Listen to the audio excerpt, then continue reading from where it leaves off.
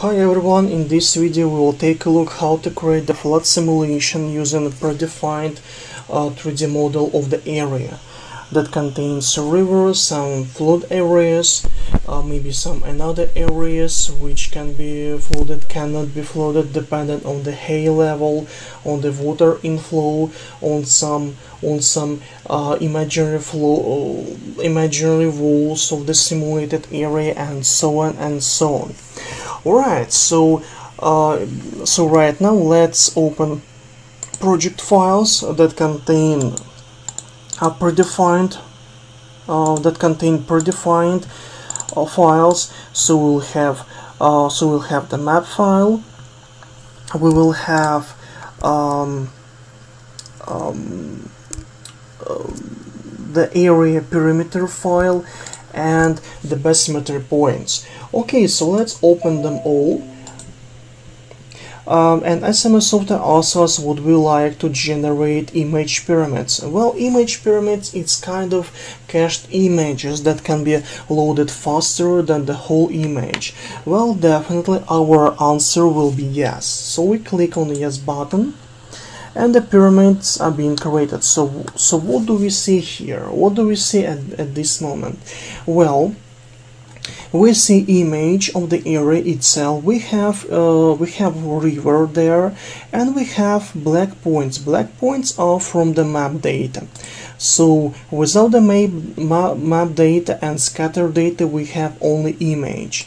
So the map data is just a perimeter uh, well, the perimeter is located on XY surface and it plays its role only uh, in, in case of flood simulation as um, as the perimeter of area. Uh, this perimeter of area just just borders the working area, which can be analyzed afterwards. Ab about uh, about the entire um, haze of the points, well, they have been defined using using scatter data. Okay, scatter data are represented here as red points um, and by using those red points we can set up the bathymetry. In other words the hay of, of each point uh, inside the model. Okay so let's try to use rotate tool just just to rotate the model and we can see. So we have the river uh, the water inflow into model will happen through this channel and here we will have some barrier that will not allow the water to go outside the mo model. So we will have only inflow um, into our uh, model with, uh, and without outflow um, this area and this area they will be flooded. So we will so we will create the flood simulation model. Okay so as you see while we rotate the model the image was disappeared. Uh, it's totally fine. We don't have to worry about this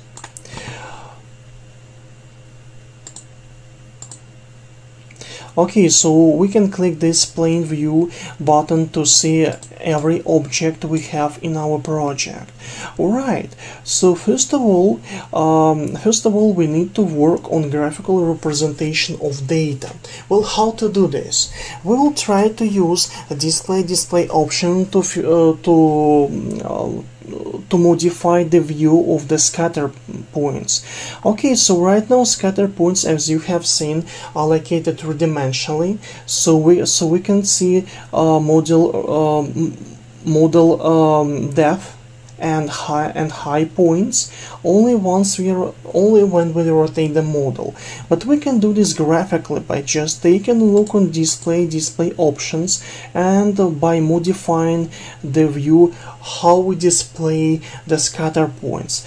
Um, as far as you see we have points uh, in the in the scatter view so points are activated for the view and we are going to de deactivate them. But we are going to activate the contours like in previous video we took a look and we say that contours will be filled with the color. And transparency of the color will be half so it will be 50 percent. Uh, well when we set up this configuration we press ok to apply Right, so and right now we have pretty fancy image where each color represents the the deep or high level. So actually that's the Z Z coordinate which actually uh, looks for, for uh, looks um, in the vertical direction and we and we see the map from the top. So actually we don't see that uh, somehow dimensionally but we see that position graphically using color. Alright um, so nextly we have to wait we have to work on on areas which are bordered with map data parameters. So for this purpose we are going to create domains. So we'll work with domain lines. Domain is just a group of uh, parameters used in this module. Uh, and we will activate uh, the feature um, select feature polygons. So this option will allow us to select polygons we can work with. So we have one flooded area, another flood area, the river itself and some half of the road we have some part of the road we have. So as you see here we have the road on the map and we can even place uh, a part of that road in the 3D model. Okay, well that's fine. In this case what have what do we have to do? Well we have to create material. But but to create the material with a specialized coefficient we have to activate SRH 2D. So SRH 2D uh, is the module that allows us to create the flood simulation. So let's activate this, and we and we see that somewhere uh, in our model we have motion line. So what is the actually motion line? The motion line is the line that can work as uh, as the input of the water in our model as the output of the water. So we have uh, inflow we have outflow. Or we can set up some barriers that doesn't allow the water to go out out uh, to go out from the model. Um, before they reach some certain hay the water elevation in other words. Alright that's great. Um, in this case uh, everything is fine for now and we are about to create a material. So we are going to um, open materials properties window and we're going to set up a new material. I will name it as my material. Okay and we have to select the Manning's roughness coefficient I will say it will be uh, 0.05 and I will apply this roughness coefficient for all uh, for all uh, polygons I have in the in my model. Okay, fine. Uh, in best case scenario, I would have to create um, different materials with different and roughness coefficient for each area. For each of those uh, just selected areas but in my case uh, I'm not going to do this. Uh, if you if you guys like you can do this on your own. Okay fine. So by pressing ctrl A I'm selecting all polygons I have and I will set up the configuration of them. The configuration of all of them just just in one step. So I click on attributes of polygons and I say that mesh type uh, of these polygons will be pattern the bathymetry will be taken from the scatter set. Um, so once we select the scatter set, we have to select even exact data set of the scatter set we are going to use. In our case, we have only one uh, with the name of Z. So we have to guarantee that this uh, data set is selected and we have to press OK. Alright, and we have to assign the material. Well, since I created my material with the name of my material, I'm selecting it. And for now it's fine, so everything is done correctly and I'm pressing OK. Alright, so right now the configuration is done and I'm going to save up my project. Okay, I will name it triple P, let it be so. Um, the name of the project doesn't matter at all.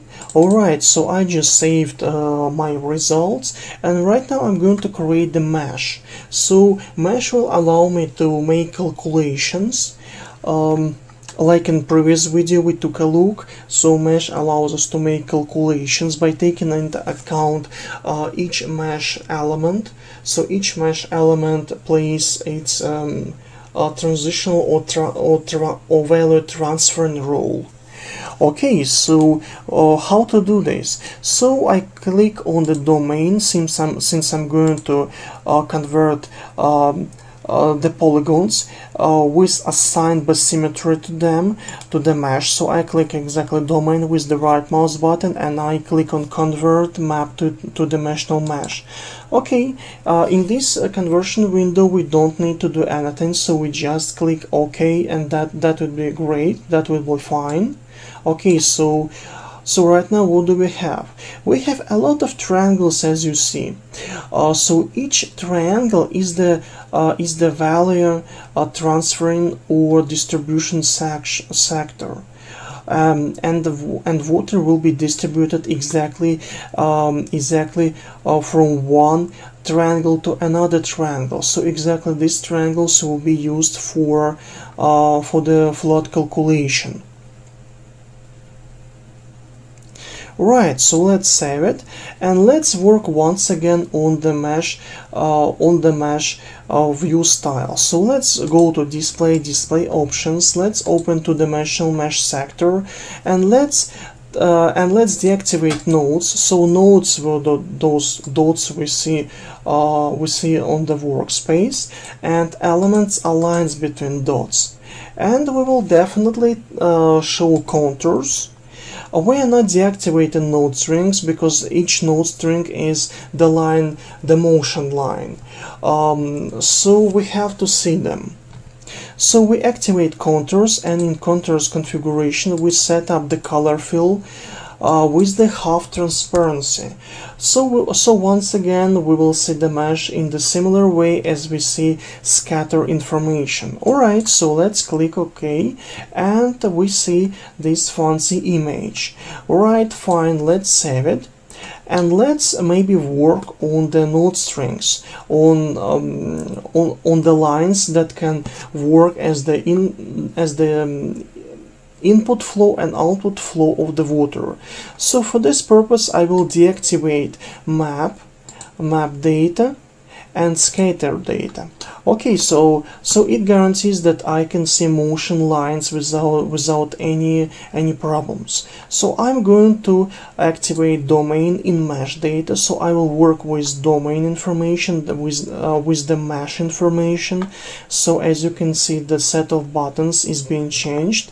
So I'm going to select uh, node strings. Okay, so I will. Uh, so here we have the input of the water in into our project. We have three points but I'm going to make one of them so I click on merge selected Okay, so I have one point that characterizes these three lines here.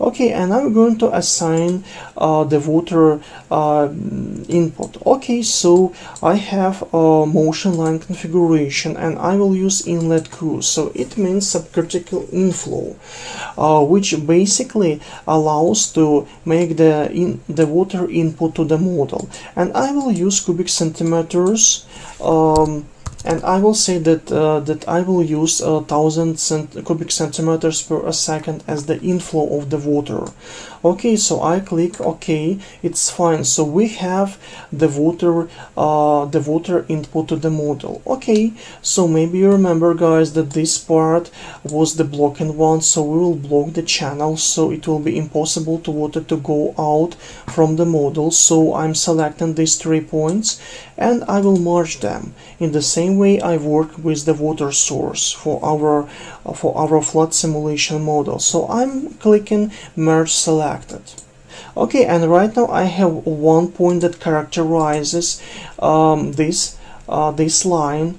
And once again I will assign I will click assign BC so I will uh, I will uh, select exit H. So I will create the barrier.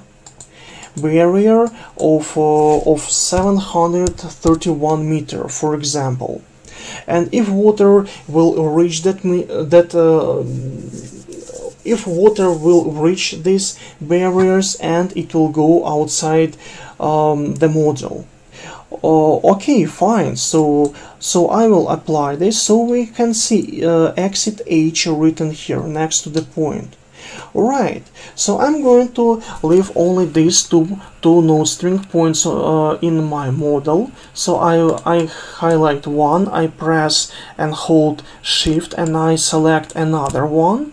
And I'm going to click right mouse button and click on invert selection. So I will deselect those two points but I will select all other points. And I'm going to erase all other uh, points. So I'm so I'm going to uh, click on node strings.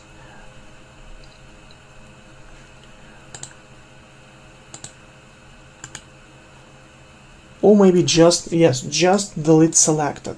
Okay so uh, so I'm erased sele selected node strings so I have only two of them left. So uh, in this case I have to renumber them.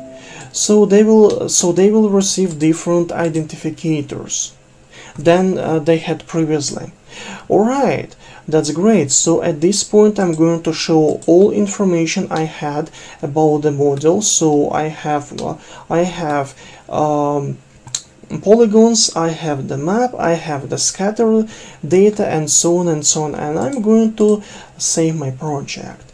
Okay fine. So right now we can set up a simulation the flood simulation. For this purpose we are going to visit SRH 2D section and here we would we would need to open the model control window. In the model control window we can find out configuration related to the flood simulation. Okay so what do we have here? Uh, we have um, uh, initial conditions. So from the very beginning we assume that there is no water at all in our model uh, we define the time step for simulation, so it will be one second, one simulated second, and we are about to set up uh, the total uh, simulated hours. So we will have four simulated hours. Alright, about the floor, floor um, section about the flow tab. Well we can leave data as they are written there and about the output we will say that we will have information in uh, in SI um, unit system so it's a globally acknowledged system and we will save information uh, after each 0.02 simulated hours. So we will have uh, simulated data after each this period of time. And we can and we will be able to take a look on those saved results after each this time moment. Okay fine. So we will have to click on ok and we can uh, take a look if our simulation contains errors. So we click on model check Okay, so we have no model check violated, so it means everything's fine, uh, and we can save our project and run the simulation. To run the simulation, we have to click on SRH2D, and then we have to click on Save Export and launch SRH2D. Alright, so right now we will have a couple of additional windows on the screen.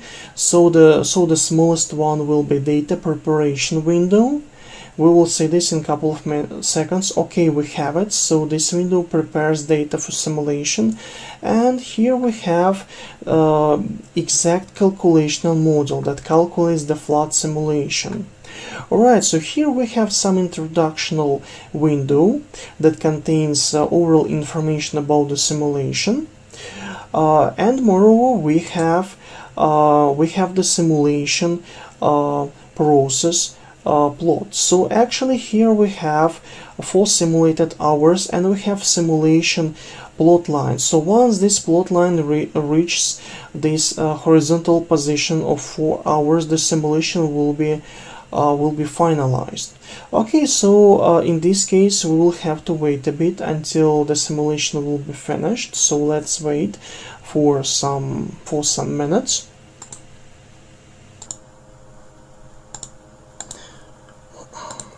Alright, so in the end we have the window that program terminated with exit, zero, with exit code 0.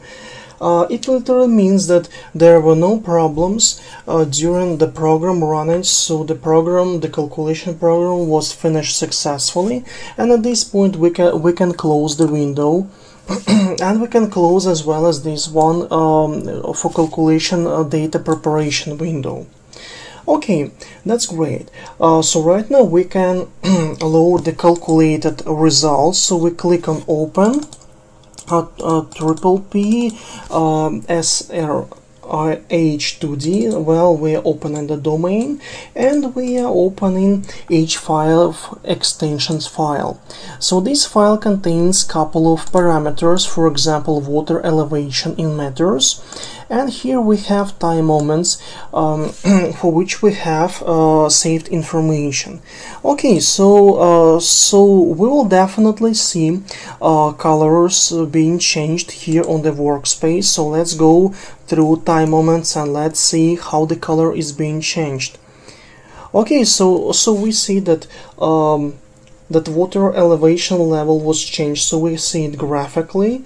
Um, in colors so we see that right now that there is a flood happening flood beginning. And if we will just uh, scroll uh, down our active uh, time moment through the time through the save time moments um, through the save time moments list so we will see how the flood simulation happens Alright, we can even make the film of this time moment. So for doing this, we will click on data, film loop as we took a look at previous time, in, I mean in previous video. So we'll use uh, transition data animation, we will use uh, automatic configuration of the of their um, video. Um, the video file. Okay and we will use the high quality file. And right now uh, SMS software goes through all time moments uh, which was which was saved and creates the video fragment. Alright so at this moment we have to just wait a bit. Right so quarter is done. Let's wait uh, more a bit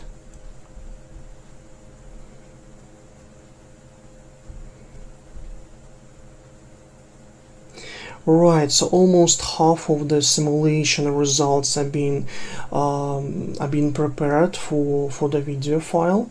Right, so we have to wait uh, just a bit more. Uh, also, it's it's already clear that um, that the full area, full simulated area, uh, is full with the water. Uh, anyways, let, let's wait. Only quarter of frames are le is left for analyzing and preparations for the for the video file alright so uh, we have to wait for another couple of frames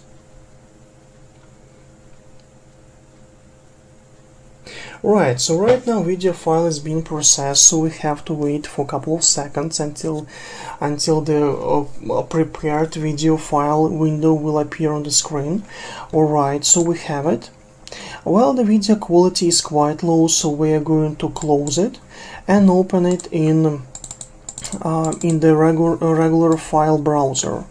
Okay, so here we have uh, sms.avi and here we have the simulation model. That's the way how we can create a flood simulation from pre-prepared three-dimensional model of of analyzed area with um, with parameters and bathymetry created. So that's the way how we can do this. Thanks for watching the video. Subscribe to the channel and leave your comments